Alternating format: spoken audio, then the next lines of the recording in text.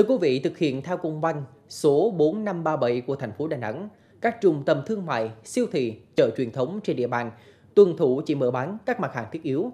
Theo đó, để đảm bảo cho người dân mua sắm một cách an toàn, nhiều siêu thị đã tăng cường công tác phòng chống Covid-19. Người dân đi mua hàng cũng nghiêm túc, phối hợp thực hiện đồng đều các biện pháp này.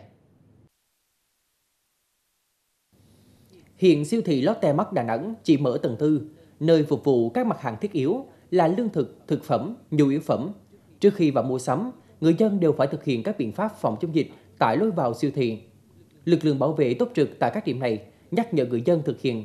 Hầu hết người dân đều có ý thức cao, xếp hàng, chờ lần lượt thực hiện các biện pháp. Theo ghi nhận của nhóm phóng viên, lượng người đi siêu thị ít, mặc dù là ngày cuối tuần. Vì trải qua nhiều đợt dịch, người dân có thói quen giảm tần suất đi chợ, đi siêu thị. Đồng thời, khi đi ra ngoài, người dân đều tuân thủ thực hiện thông điệp 5K của Bộ Y tế. Ờ, nói chung là vừa vào siêu thị xong là mình phải sát khuẩn tay nè, rồi mấy anh cũng có kiểm tra đo thân nhiệt của mình nữa.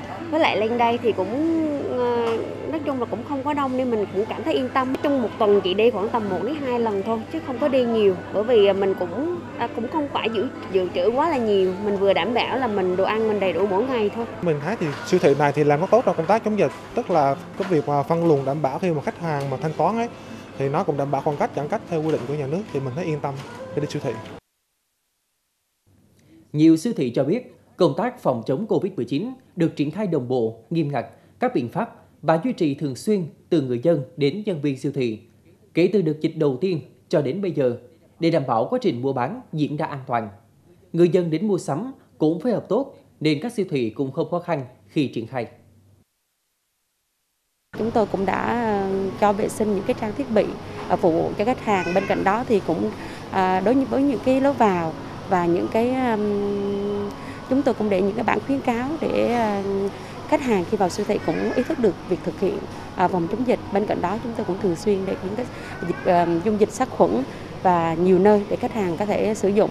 À, ngoài ra thì đối với nhân viên thì chúng tôi cũng thực hiện 100% việc thực hiện phòng chống dịch.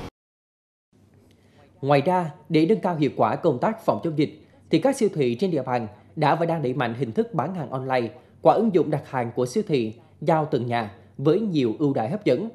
Lượng đơn hàng online tăng cao vì đây là hình thức mua sắm an toàn nên được người dân ưa chuộng trong mùa dịch này.